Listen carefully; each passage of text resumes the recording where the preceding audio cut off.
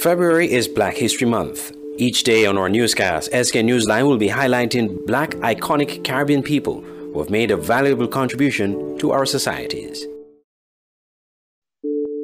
Sir Simeon Daniel was born at Barnes Ghaut Village in St. Thomas Lowland Parish, Nevis, to Joseph Daniel and Melvina Daniel. He received his early education at St. Thomas's Government Elementary School in Nevis. He entered the teaching profession as a pupil teacher in 1950 and attained the Leeward Islands Teacher Certificate in 1957. In 1962, Daniel began his legal tutorial at the Council of Legal Education in England. While a student between 1960 and 1966, he worked as a clerk at the London County Council and later as an executive officer, and in 1965 received a recognition grant for outstanding meritorious work from the said institution.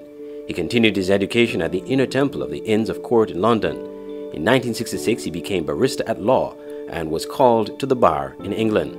He returned to Nevis in 1966 and served as Assistant Secretary in the Ministry of External Affairs and was admitted to the local bar that same year. The following year, he was appointed Crown Counsel and later Registrar of the Supreme Court and additional magistrate in the state. He entered private practice in 1969 in St. Kitts.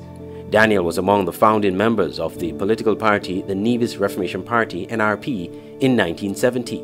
He served as chairman of the local council from 1972 to 1980 and was elected to the National Assembly in May 1975 and February 1980.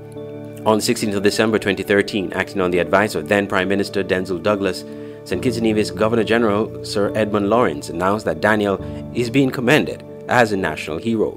Sir Simeon Daniel died on May 27, 2012, and was buried with full military honors.